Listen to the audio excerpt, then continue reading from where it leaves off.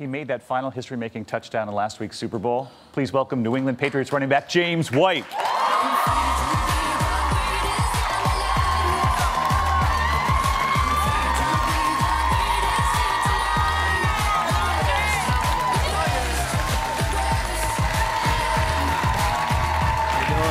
happy for you. Have a seat. Everybody says you made the touchdown. Let's remind everyone what that touchdown looked like. Take a look. Come on. Toss to White. Up, up. He's in. Patriots win the Super Bowl. Okay. I'm always shocked that you guys don't get more injured hugging each other than tackling each other. We're actually pretty surprised too. I mean, everybody gets really into that, and it's just fun celebrating with your teammates. It still feels surreal to me. I can't. That doesn't get old, Yeah, right? It, it doesn't get old. I. I, I get nervous watching every time I see it. Like, like I don't know what happens. You scored three touchdowns. Yeah. That's, you know, without without you, that team is dead in the water. Dead. There wouldn't No, be the Patriots. No, without no, no, no. No, in, fa- in fact, you know, Tom Brady MVP. Off, yeah, well, a few people back here. But he actually said the real MVP is sitting right here, which I thought was an extraordinary. I mean, it- it's definitely cool to hear him say that, but I wouldn't have had the performance I had if it wasn't for him catching 14 passes. Those are all coming from him. I mean, we wouldn't have been in that position without him. He's definitely our leader and just a great teammate and a great guy to have on your team. I mean, first Super Bowl to go into overtime. Right. Uh, biggest deficit to come back from in Super Bowl history. I mean, this was sort of an extraordinary. We couldn't believe it. We No, we don't we- spend all of our time together, but we actually were We watching did. the We Super were Bowl watching together. the Super Bowl we, together. You know, and and Mark's like, you know, talking us through the whole thing. Uh, yeah, because we were like, what's happening no, now? but, but it was it was really it was a surreal thing, and and when you're doing that, I, I just curious what what goes through the mind when you know that you're you you can finish the game right here in this moment. Well, for us, um, we know we were down by a lot of points. I just stopped looking at the scoreboard after after a while, and I knew if the defense continued to stop their offense and we continued to score points, we continued to get in, get more into the game, and eventually we were in striking distance. And once Hightower got that strip sack, I think that really gave us all the energy we needed, and we got the ball first in overtime. That's what I said, the strip sack. yeah, strip sack. Really.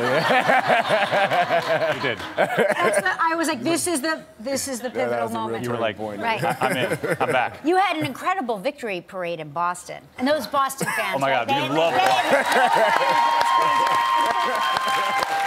that yeah, that's Gronk, right? We were having a great time.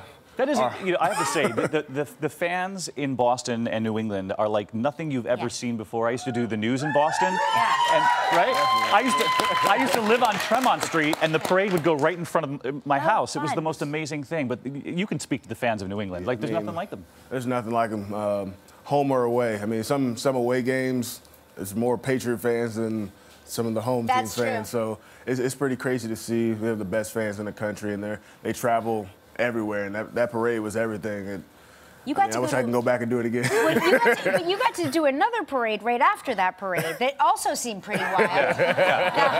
A little wardrobe change. That's kind of nice. Right? Take off the winter coat for a few minutes and like put on the shorts, hang out with the mouse. That was a, that was a really cool experience. I'm, I'm from Florida, so I've been to Disney World plenty of times, but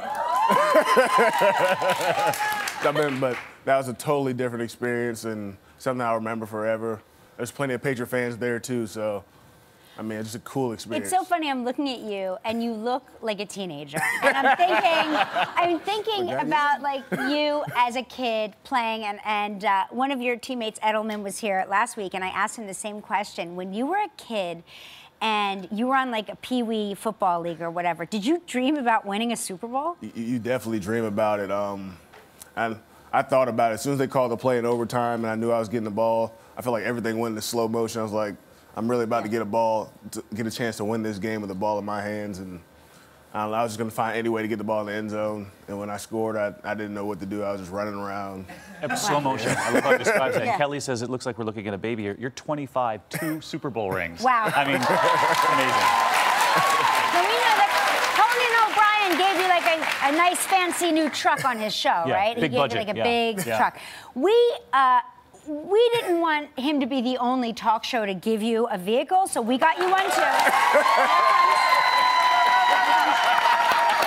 yeah.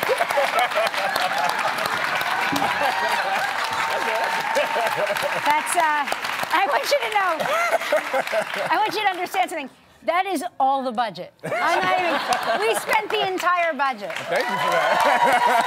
Congratulations. James White from the